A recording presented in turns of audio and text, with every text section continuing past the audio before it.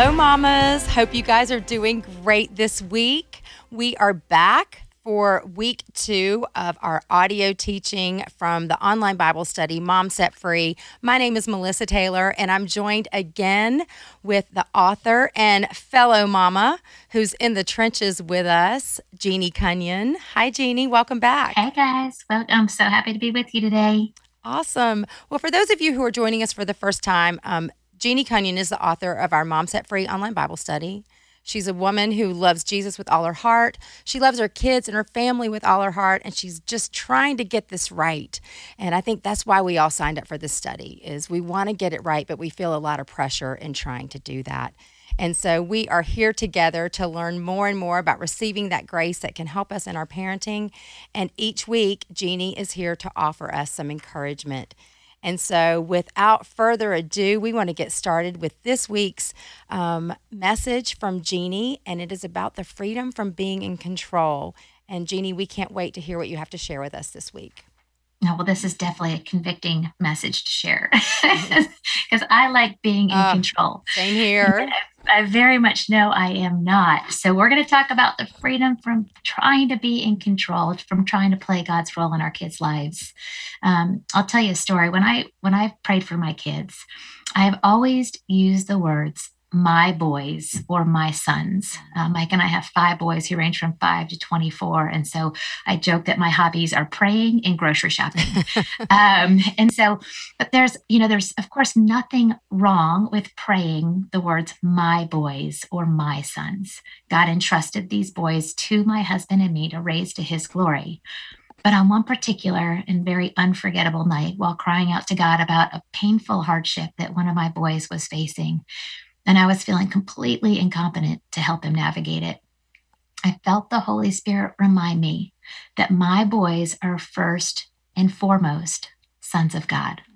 That as much as I love them and long for them to know God's love, that they were created by God, they belong to God, and God's love and desire for them is infinitely more profound and pure than mine.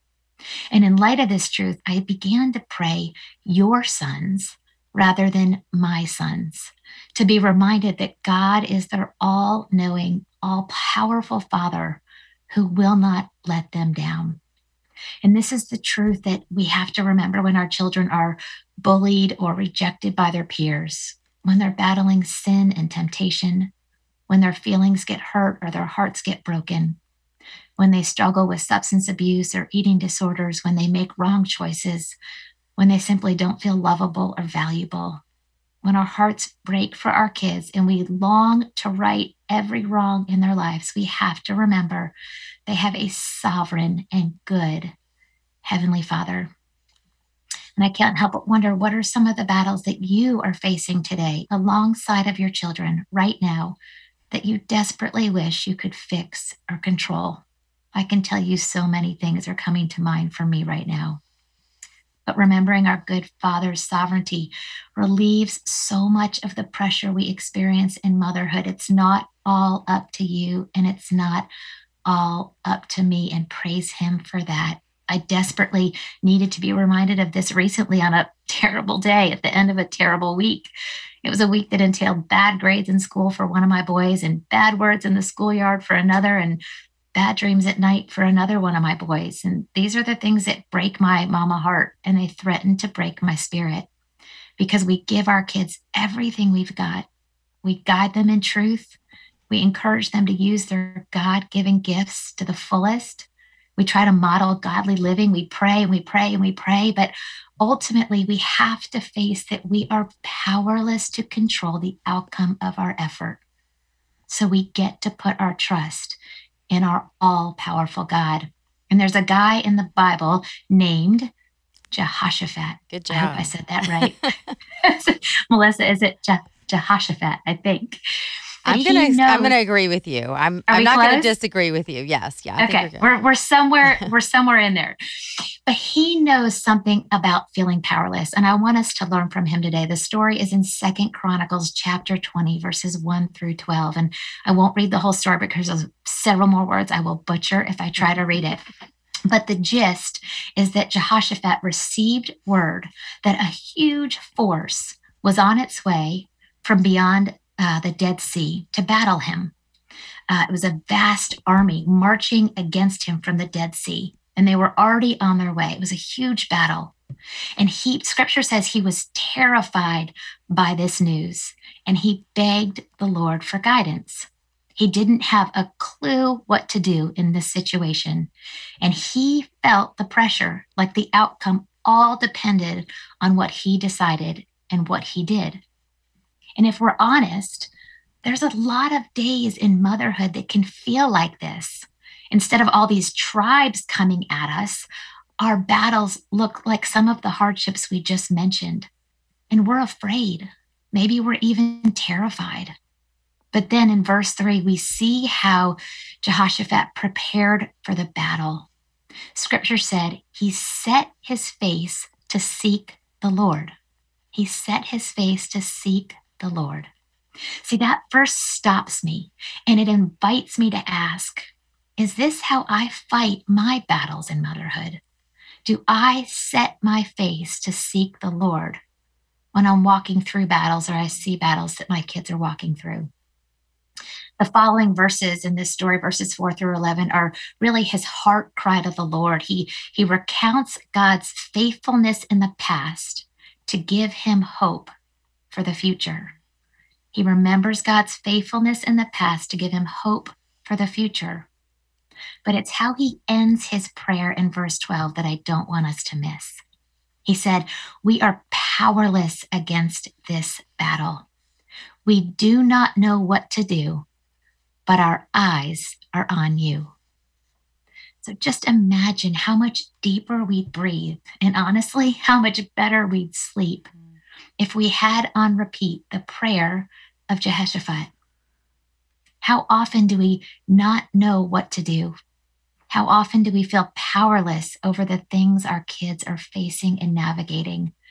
And we think it's all up to us to figure it out, to solve it, to be the rescuer, when really we're just trying to fill shoes in their lives that only fit their Heavenly Father.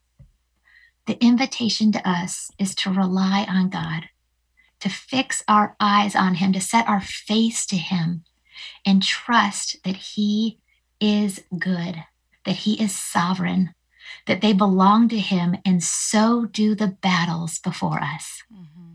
So we pray, Lord, we do not know what to do, but our eyes are on you, and we will trust you with the children that you have entrusted to us. Amen. Amen. Jeannie, um, and let me just ask you, mamas, is there a single one of you who is not just, you can relate to everything that you just heard? How often are we? Are we afraid or are we worried about our children? And I love that in scripture it says that Jehoshaphat was terrified he begged the Lord for guidance. And I think what um, what a formula for us when you're mm-hmm. feeling that unsettledness or that fear, whether no matter what it is, you guys, it can be something big and it can be the little things too that keep us up at night. But go to the Lord, like just try to make that your trigger. Is there fear? Is that worry? I'm going to the Lord.